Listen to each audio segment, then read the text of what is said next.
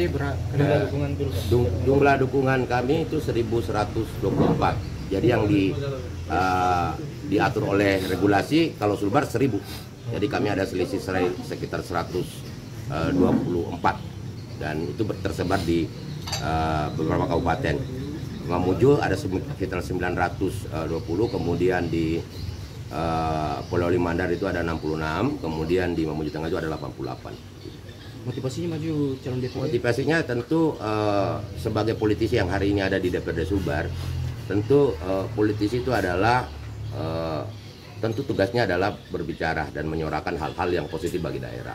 Dan tentu ruang ruang DPD RI adalah ruang yang besar bagi eh, saya secara pribadi untuk kemudian memperjuangkan wilayah ini, wilayah Sulbar yang tentu masih butuh perhatian dari pemerintah pusat. Karena kita otomatis adalah daerah yang eh, masih di bawah. Tentu eh, atensi pusat kita butuhkan untuk memajukan daerah ini. Sehingga diperlukan apa ya suara-suara dan desakan-desakan untuk kemudian bagaimana pusat memperhatikan Sulbar kalau kemudian itu tidak dilakukan ya kita kapan diliriknya